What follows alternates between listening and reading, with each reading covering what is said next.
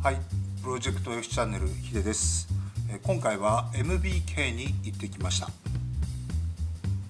開国後2ヶ月ぐらい経ってですね、MBK にも人が戻ってきたっていう話を聞いたんで、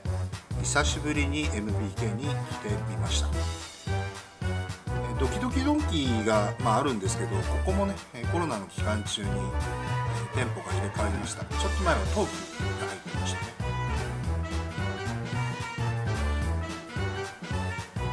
ここはまあ人種関係なくたくさんの観光客が来られてるなという気はします。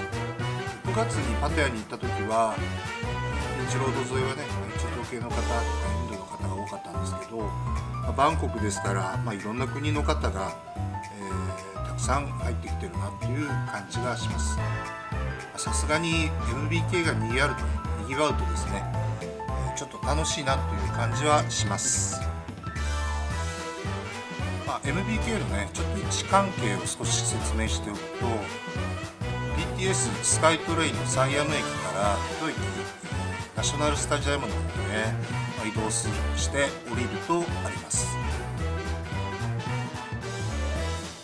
前の動画にもあったんですけどチャトチャックウィークエンドマーケットとは違ってここの MBK は常設のお店です。ここファッション系とですね、モバイルフォンとかですね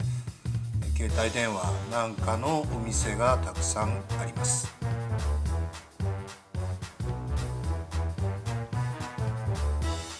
iPad とか iPhone とか Google フォン、まあ、含めてですけど、まあいろんな携帯電話にですねカバーなんかも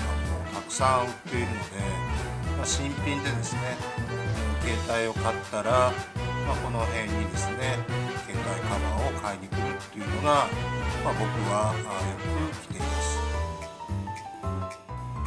す。でね、まあ、いろんなあのファッションあるんですけど、まあ、お土産になるような T シャツタイのね柄の T シャツなんかも売ってみて売ってますから、まあ、ぜひねお土産、えーを買うつもりで来てみると非常に面白いんじゃないかなと思います。またあのケーブルなんかもね携帯電話のケーブル欲しいなと思ったら、まあ、ここに来ると大概のものは全て揃いますので1回来てみると面白いんじゃないかと思います。チャンネル登録高評価よろしくお願いします。